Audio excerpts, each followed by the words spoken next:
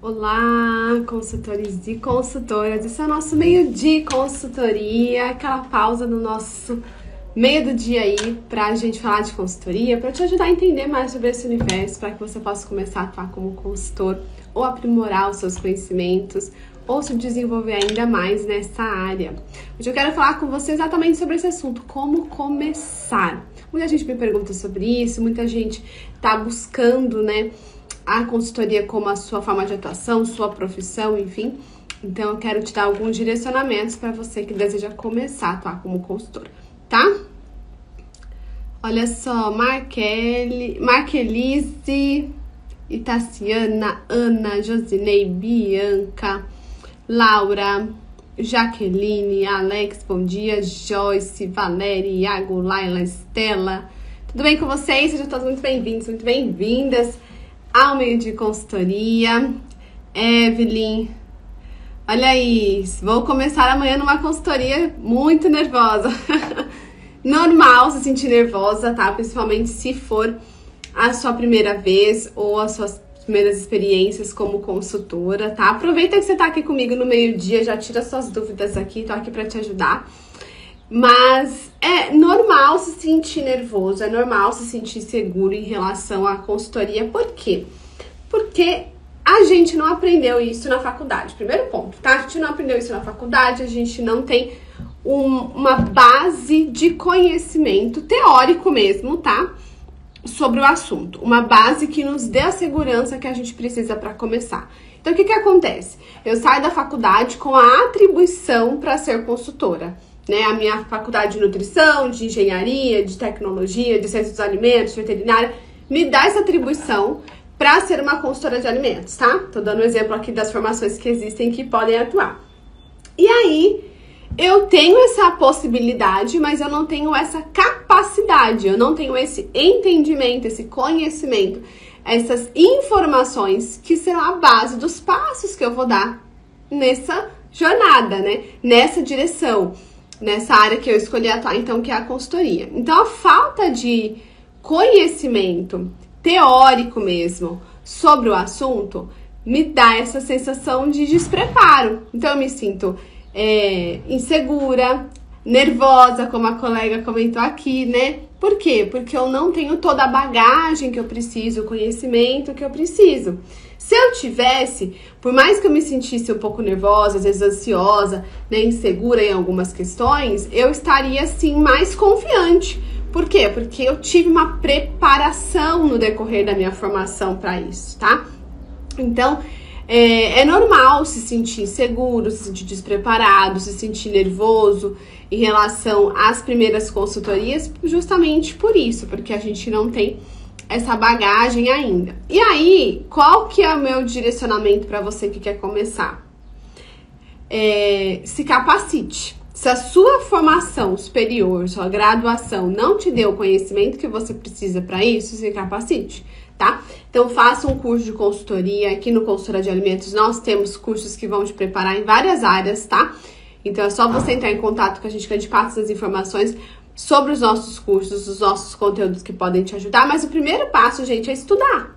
Se eu não tenho conhecimento para começar, o primeiro passo é estudar. Não dá para eu pular etapa, tá? Então quero começar a atuar como consultor de alimentos. Qual é a primeira coisa que eu tenho que fazer, Mayara? Me capacitar na área de consultoria, tá? Se eu quero aprender a faz, fazer fotografias maravilhosas, qual é a primeira coisa que eu tenho que fazer? Estudar fotografia. Não adianta nem eu ter uma câmera fotográfica boa se eu não sei usar. Então eu tenho que me capacitar para isso. Em todas as áreas da vida vai ser assim, tá, gente? Qualquer coisa nova que você queira começar, é importante que você se capacite, faça cursos, é, entenda sobre esse mercado, entenda quem serão seus clientes, quais são as necessidades que eles têm, como que você pode ajudá-los. Tudo isso vai ser a bagagem que você precisa para você começar. Então, a capacitação é a primeira coisa, tá? Depois é importante que você faça algumas definições. Quem serão seus clientes? Mayara, que nem a nossa colega aqui, né, falou, é um restaurante. É um restaurante que ela vai atender. Então, vamos supor que ela escolheu como cliente restaurante. Então, vou focar nos restaurantes nesse começo de carreira. Quem são esses restaurantes? Onde eles estão na minha cidade? Quando que eu vou começar a visitá-los? Quais os serviços que eu vou oferecer para esses restaurantes? Boas práticas? que mais? Ai, Mayara, eu quero também dar alguns treinamentos. Ai, eu também quero trabalhar com, nesses restaurantes com é, redução de desperdício. Então, tudo depende aí do seu foco como profissional para você oferecer os serviços certos para os seus clientes. Então, depois que eu me capacitei, que eu entendi o que o consultor faz, que eu já tenho método de trabalho, que eu tenho ferramentas, que eu sei as estratégias, que eu sei abordar um cliente, eu sei fechar um contrato, eu sei precificar meus serviços, né? Eu já sei tudo isso, já sei fazer manual, POPs, planilhas, eu já sei fazer treinamento. Se eu fechar um treinamento amanhã, eu sei montar o treinamento e apresentar. Então, com tudo isso certinho, já se capacitou? Defina quem serão seus clientes, defina quais serão seus serviços e aí começa então as suas visitas, tá? Então, se eu posso te dar um passo a passo lógico aqui para você começar, se capacite, defina seus clientes, defina seus serviços e comece a visitar então os estabelecimentos, tá? Claro, falando de uma forma bem resumida, mas é, para que você entenda quais são os passos que você vai dar, na, em qual sequência que você vai dar, tá? O local é pequeno, é pequeno, mas tem suas necessidades, né, gente? E nós, como consultores, nós vamos ter clientes de todos os tipos, tá? Estabelecimentos grandes, estabelecimentos pequenos, estabelecimentos simples, estabelecimentos complexos, com muitas necessidades, com poucas necessidades. E aí o nosso papel é analisar cada local, entender o que cada local precisa e depois começar a fazer as adequações, né? E aí cada local vai ter suas características, suas particularidades, suas necessidades. Alguns vão ter uma estrutura boa, outros uma estrutura ruim, uma equipe boa, uma equipe que precisa ser capacitada, é, líderes bons, líderes que precisam ser capacitados. É, processos bem definidos, processos bagunçados. Então, cada estabelecimento tem sua realidade. Duas padarias que são na sua rua, no seu bairro, que tem o mesmo tamanho, podem ter necessidades completamente diferentes internamente. Por quê? Porque cada uma tem sua característica, sua estrutura, sua equipe, seus processos, suas receitas, suas matérias-primas, né, seus fornecedores. Cada estabelecimento é único. Cada estabelecimento funciona à sua maneira, independente de como ele, de qual é o nome dele, né? Ou em que, em que área ele se enquadra. Ah, se é um restaurante, se é uma indústria, se é um. Não importa, cada um vai funcionar à sua maneira, porque tem seus próprios equipamentos, seus próprios setores, seus próprios processos, como eu falei aqui. Então, cada cliente é um cliente, cada cliente é um único, tá?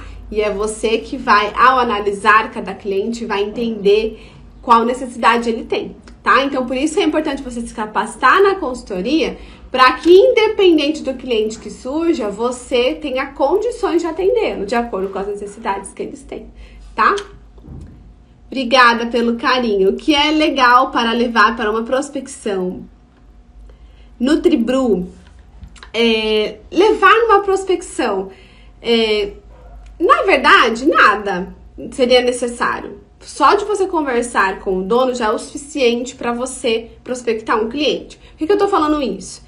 Para que vocês não coloquem empecilhos no caminho de vocês para vocês prospectarem, tá? Mas se você quiser levar alguma coisa, leve um folder, é o mais legal, tá? É até mais legal do que o cartão de visitas. Se você tiver cartão de visitas, ótimo, leve também. Mas se você tiver que escolher entre fazer um folder e um cartão de visitas, até por questão de custos, faça o folder, tá? Por que eu tenho que fazer um folder, Mayara? Porque é no folder que você vai descrever os seus serviços, o seu contato, um pouco sobre você, seu negócio, como que você ajuda o cliente e faça um folder que te venda, um folder com informações que vão despertar no seu cliente interesse em te contratar. Se você é aluno ou aluna da imersão, nós temos uma aula só ensinando como que faz o folder. Vocês vão ter o meu modelo de folder para vocês se basearem e criar o de vocês. E vocês vão entender como que é o nosso raciocínio aqui no consultora de alimentos na hora de montar um folder, tá? Não é listinha de serviço, tá? É um folder que vai gerar no cliente esse interesse em te contratar. Então vai na aula de planejamento estratégico de carreira e dá uma olhadinha nessa aula do folder, tá? porque aí você vai entender como que você monta cada informação do seu folder. O folder ele não é feito de qualquer jeito, ele não é feito correndo, ele é muito bem pensado para realmente trazer essa conexão com o cliente e venda, né, que é o fechamento do contrato. O folder precisa te vender. Mesmo que você não tenha muito tempo de falar com o cliente sobre o seu serviço, se você tiver um folder bem feito, o seu folder vai fazer esse trabalho para você, tá? E mas Maiara, eu tenho que ter um folder se eu quiser ir amanhã prospectar um cliente. Não vai dar tempo de eu fazer um folder. Eu posso ir? Com certeza pode, tá? O folder não é uma desculpa para vocês não irem, tá, gente? Ah, eu não tenho folder, por isso que eu não vou abordar cliente, tá? Mas se você puder ter um folder, ótimo. É, uma, é algo a mais, é algo que vai contribuir com certeza. Mas não é um empecilho. Ah, não tenho um folder, então eu não consigo fechar contrato. Não. Você consegue ter uma boa estratégia, uma boa argumentação ali com o seu cliente, apresentando para ele quais são os seus serviços, os benefícios do seu serviço, tendo uma boa interação com ele ali, você consegue, tá? Na nossa aula lá da semana passada, eu ensinei vocês como faz isso. Se você é aluno da imersão, você também tem várias estratégias de como prospectar clientes, tá? Então depois você dá uma aula na, no módulo de abordagem de clientes para você poder é, usar as nossas estratégias para aplicar com os seus, tá? Mas tem que ir, viu, gente? Ninguém consegue cliente sem fazer visita. Isso vocês têm que esquecer, tá? Tem que visitar cliente, tem que é, oferecer serviços, tem que conhecer ele no olho no olho, tá? Então, essa questão de visitar clientes, acho que vocês já sabem, né? Eu não preciso nem ficar batendo essa tecla aqui. Mas se você não sabia que para conseguir clientes tem que visitar o estabelecimento, então tô te te informando, tá bom? Tem que ir, tem que visitar cliente, tem que divulgar seu trabalho, tem que te conhecer, tem que conversar com você, vocês têm que juntos entender o que está acontecendo, juntos definirem quais serviços são os melhores para o cliente. E tudo isso é nessa conversa, nesse olho no olho, nessa interação com o cliente, nessas visitas, tá? Então tem que ir. Certo? Mais alguma dúvida, gente, sobre isso? Mayara, precisava levar jaleco no primeiro? É, Olha, gente, eu acho que um bom consultor é aquele que está sempre preparado, tá? Por quê? Pode ser que numa visita de prospecção, o seu cliente fala, vamos entrar na minha cozinha?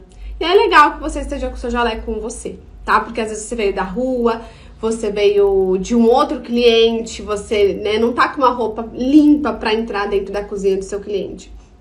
O jaleco acaba sendo essa barreira de proteção entre a sua roupa e a cozinha do seu cliente. Então é legal, sim, tá? Então sempre que você sair, leve o seu jaleco com você, porque se você tiver a oportunidade de entrar na cozinha do cliente, você tá pronta para entrar, tá?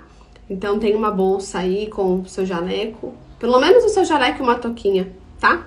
Porque aí você não vai estar tá vestida de jaleco, tá? Você vai levar com você. E aí, se você precisar entrar na cozinha, você veste, certo?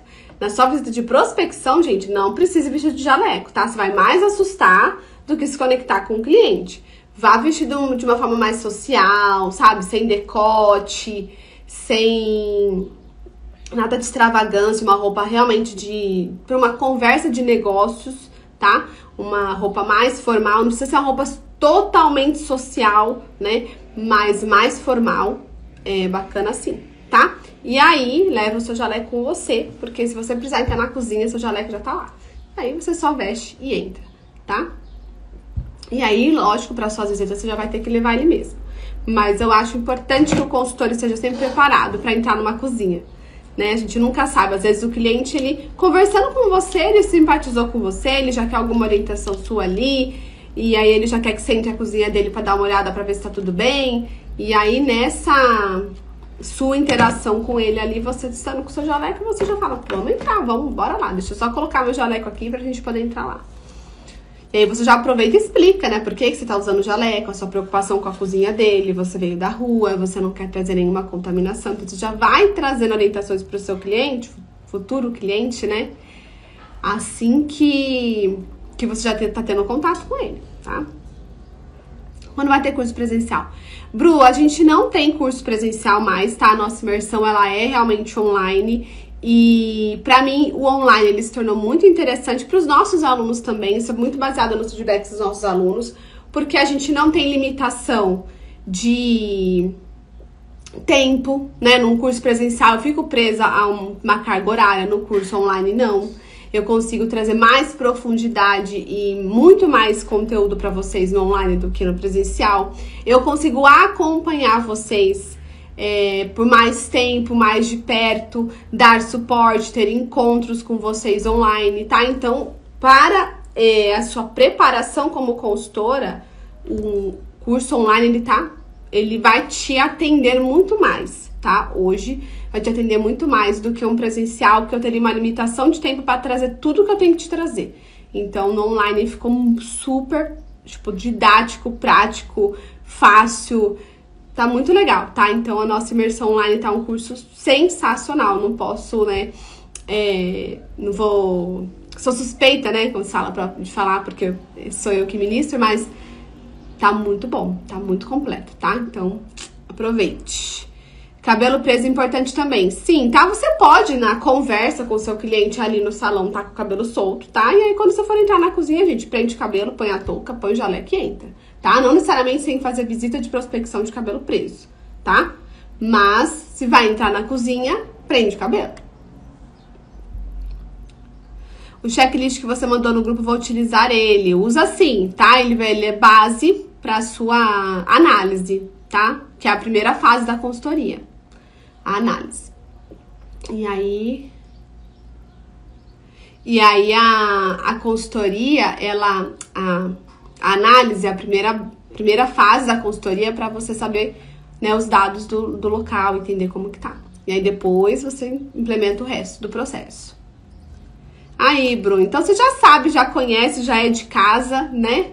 Então, fique tranquila em relação a isso, porque de conteúdo você recebeu assim a nossa uma bagagem muito maior, tá? E claro que se tiver algum evento presencial, gente, vocês serão avisados, mas não temos previsão de nada presencial no momento, tá? Caso a gente tenha durante o ano ou pro próximo ano, vocês serão avisados com toda certeza, tá? Mais alguma dúvida, gente, sobre como começar? Sobre checklist? Comentem aí. Começar, gente, é pode ser, né, um, um momento, como a nossa colega falou, né, que gera essa, essa, essa insegurança, esse é um desafio para muitas pessoas, mas com conhecimento base, entendendo passo a passo, fica muito fácil, tá, gente?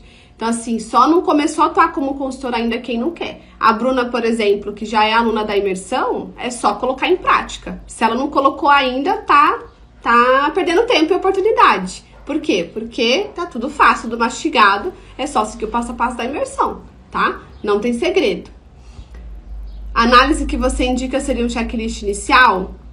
O checklist é a ferramenta que você utiliza para fazer análise, tá? Então, através do checklist eu faço análise. O checklist não é a análise, ele é a ferramenta que eu utilizo para fazer a análise, tá?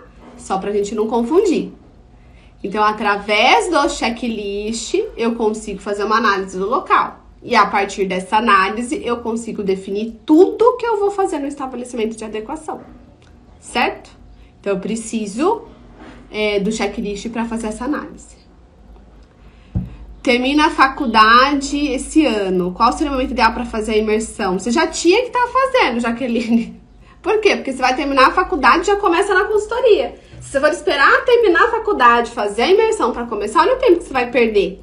Entende? A gente tem vários alunos da imersão que estão são estudantes e já estão fazendo a imersão, participando dos nossos encontros, se capacitando, acelerando para poder é, terminei a faculdade. Posso atuar? Pode. Então já vou começar a abordar cliente e fechar contrato. É tipo isso, sabe? Não, não perder tempo. Então faz as duas coisas juntos. Faço faculdade e faço a imersão junto para poder já me capacitar. Ó, a Bruna já tá indo pro cliente dela, gente. Tornei RT, legal. Comecei com como consultora lá com a imersão, tá vendo, gente? Tô falando para vocês, a imersão tem todo o passo a passo para vocês começarem. A imersão tem todas as ferramentas, os direcionamentos, todo o nosso suporte, tudo, tá? Certo, ótimo, obrigada. Juro, Jaqueline, juro, corre, corre, já se capacita.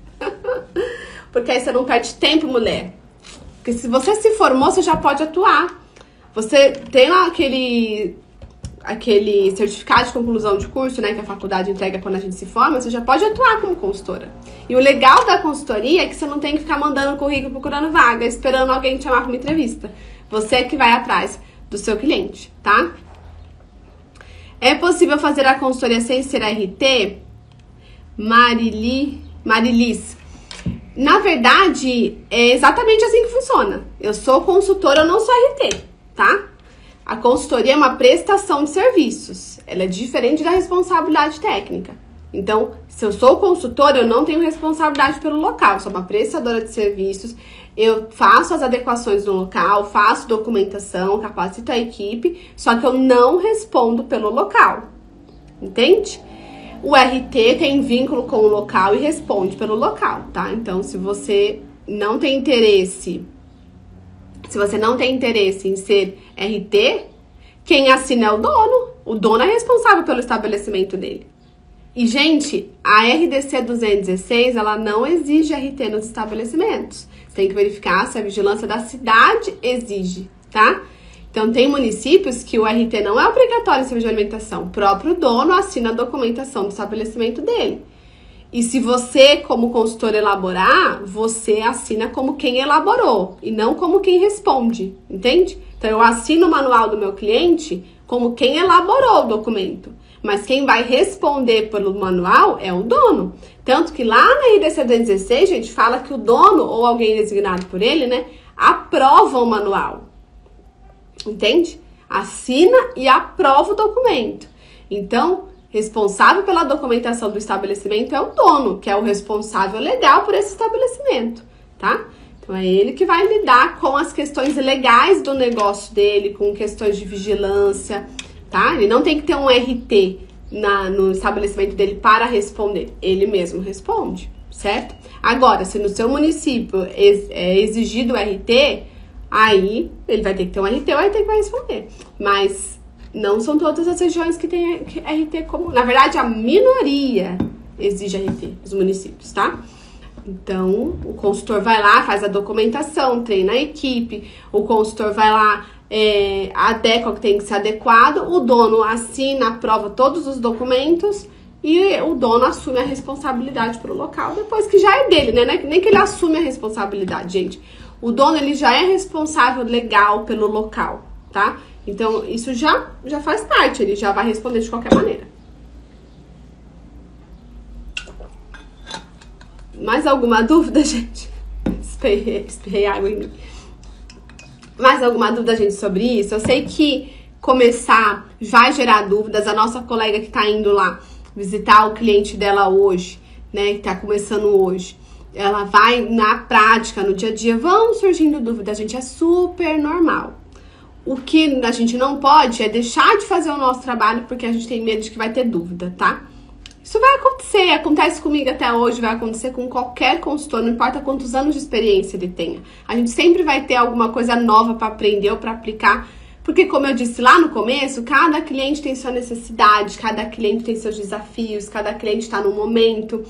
E você vai encontrar situações que você nunca viveu e tá tudo certo. Você só vai ter que entender como que você aplica a legislação àquela situação, qual que é a melhor forma de corrigir aquela situação, qual que é a melhor alternativa. Então é sempre analisar cada situação e estudar o que é o melhor a ser feito, tá? Então as dúvidas vão surgir, os desafios vão surgir, é normal, mas a gente vai conseguindo adaptando, adequando cada coisa, tá? E a legislação é o nosso guia, a nossa base, ela que nos é, nos direciona as decisões que nós vamos tomar, principalmente em relação à implantação de boas práticas, que é um serviço bem contratado por aí, tá?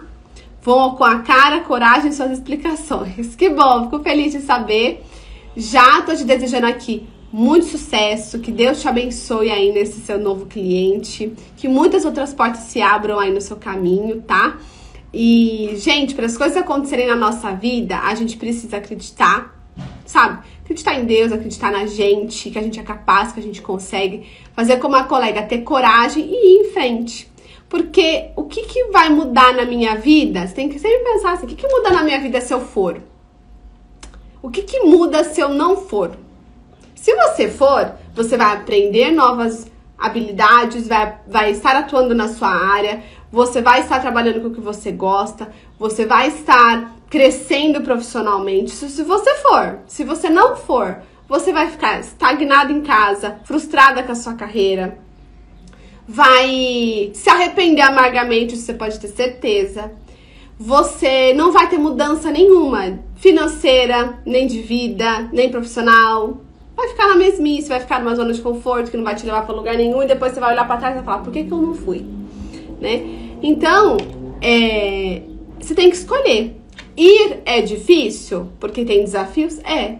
Mas ficar também é difícil. Né? Aí você tem que escolher o difícil que você quer.